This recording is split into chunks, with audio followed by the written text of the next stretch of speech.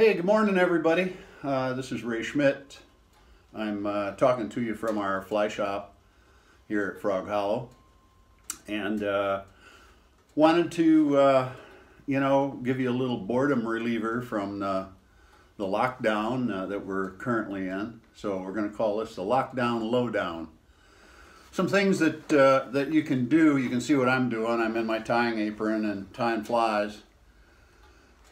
But some things you can do uh, to help alleviate uh, anxiety and boredom. Uh, you know, first of all, go to our website and check out our website. We got lots of cool stuff there, tons of videos, how-tos, um, you know, goodies, that sort of stuff that you can kind of get yourself prepared for the upcoming season. And that's that's basically what I wanted to say. Uh, it's you know, it's kind of a good time to get your tackle ready so get out your fly rods, clean them up, uh, you know, put a little coat of uh, pledge on them to wax them up. It does wonders for the finish and it repels water like crazy.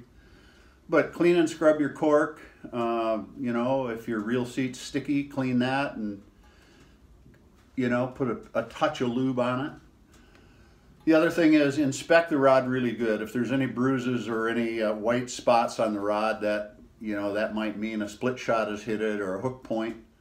Uh, it's a vulnerable spot. Fly reels do the same. Uh, you know, take the spool off, get all the junk out of them. Uh, any dirt, you can do that with, uh, you know, cotton uh, swab. Uh, little bit of lubricant on there. Doesn't take much. Don't over lube your reel. But inspect it to make sure it's in good running order, make sure the drag's running good.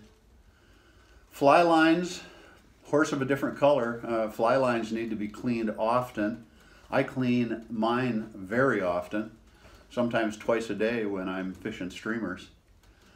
So get the fly line off from there uh, and you know clean it up with some Dawn dishwashing detergent and some warm water and then rinse it very good with, with fresh clean water.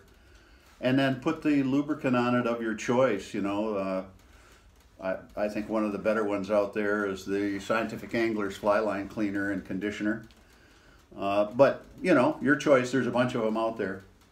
The other thing is waders. Uh, you know, you can do a whole inspection on your waders really easy if you have isopropyl alcohol.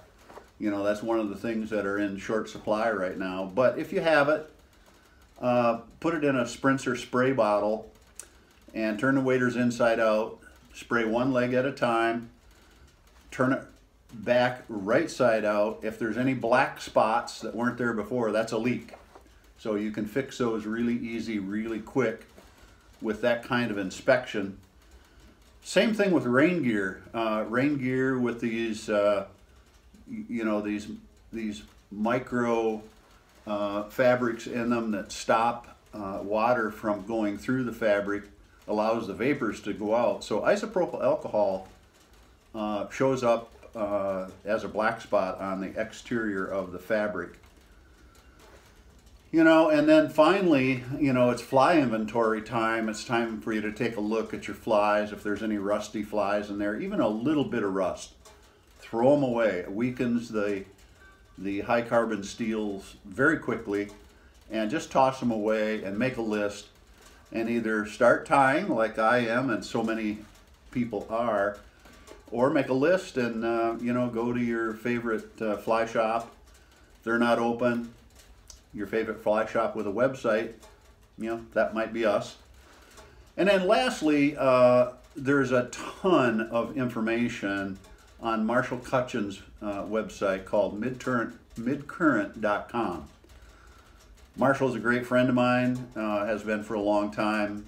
He absolutely has the most informative fly fishing website in the industry. So, you know, this is not a time to stick out your bottom lip. Uh, Kate says I don't pout very well anyway.